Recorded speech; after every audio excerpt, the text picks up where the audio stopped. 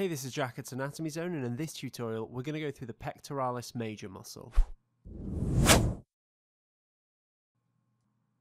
So the pectoralis major is a large fan-shaped muscle which is located in the anterior of our thorax and it forms the bulk of our chest wall it's one of the most powerful muscles of the upper body. It actually has two distinct muscle heads, the clavicular head and the sternocostal head. The clavicular head originates from the anteromedial half of our clavicle, as you can see. The sternocostal head originates from the anterior surface of our sternum, the costal cartilages of ribs 1 to 6, and also the aponeurosis of the external oblique muscle. And often these two heads are actually separated by a small cleft between the two. But from their origin points, these two heads then converge to form a flat tendon that's about four or five centimeters in diameter that then inserts into the lateral lip of the bicipital groove, which is also known as the intertubercular sulcus of our humerus. So this tendon is bilaminar, and that is it consists of two lamina, an anterior and a posterior lamina.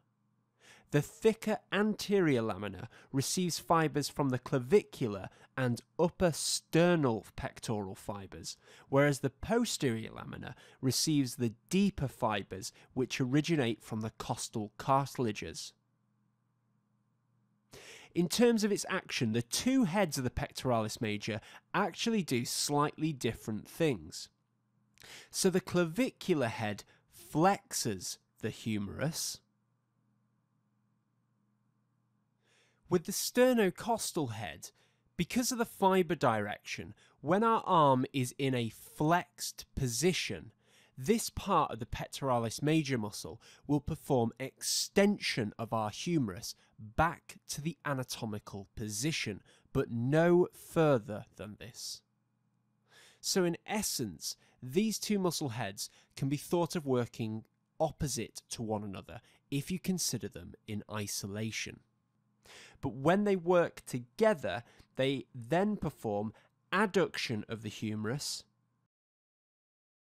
and medial or internal rotation of the humerus.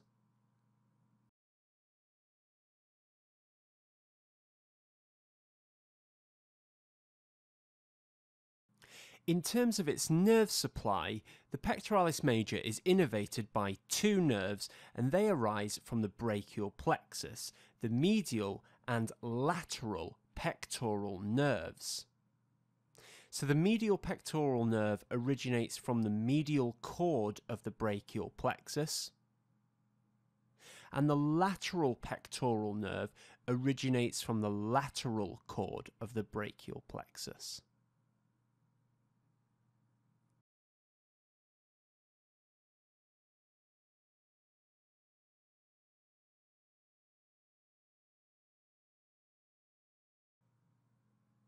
From a blood supply perspective, the pectoralis muscle gets its arterial supply from the thoracoacromial artery or trunk. So you can see here the axillary artery. That gives off a branch that's called the thoracoacromial artery.